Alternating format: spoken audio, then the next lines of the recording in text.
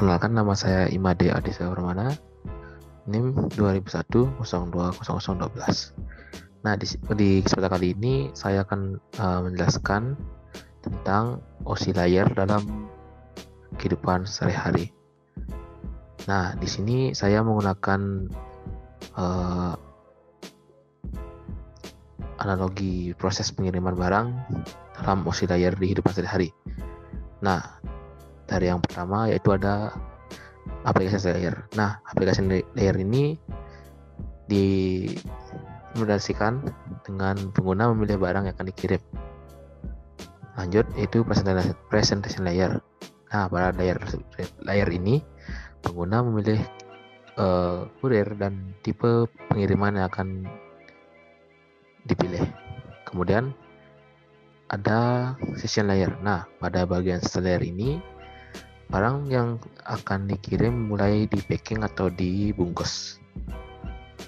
Lanjut ke transport layer, yaitu uh, barang dibedakan sesuai berat dari paket. Nah, mak maksudnya uh, kan di dalam pengiriman paket tersebut ada yang beratnya misalnya 1 kg, 2 kg, 3 kg. Nah, jadi berat-berat tersebut dipisahkan sesuai dengan berat dari paket tersebut lanjut ke network layer.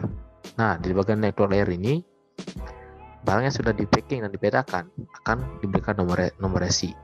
Nah, tujuan nomor resi tersebut agar uh, setiap paket yang akan dikirim tidak uh, memiliki nomor resi yang tidak sama agar pada pada pengiriman lebih dimudahkan. Setelah itu lanjut ke data link layer. Nah, data layer ini pengirim pengirim melakukan pembayaran jasa ongkir atau ongkos kirim. Lanjut ke physical layer. Nah, pada tahap physical layer ini, barang yang sudah di packing dan diberikan nomor resi akan dikirim ke alamat tujuan.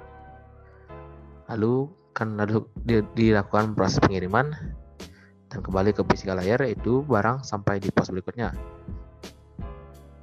Setelah itu kan naik ke datang link layer yaitu uh, Pemindahan barang yang telah dilakukan dari pos sebelumnya ke kurir akan mengirimkan ke alamat penerima. Lanjut ke network layer, yaitu barang dalam sedang dalam perjalanan ke alamat penerima. Kemudian naik lagi ke transport layer, di mana e, barang yang sudah dikirim sampai ke alamat tujuan. Kemudian naik ke session layer, yaitu penerima mengecek nomor resi dari paket. Jadi uh, tujuan pengecekan nomor resi ini agar tidak terjadi kesalahan dari barang yang dikirim. Setelah itu kembali ke presentation layer itu pengguna pengguna penerima membuka paket yang telah diterima. Jadi uh, pengguna atau yang menerima paket bisa mengecek barang agar tidak jadi kekeliruan atau kesalahan dalam pengiriman. Kemudian application layer. Nah, di, di layer yang terakhir ini menerima memberikan informasi pada pengirim bahwa uh, barang yang dikirim sudah sampai dan sesuai dengan apa yang dipesan. Sekian dari saya.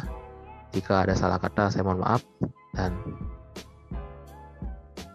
have a good day.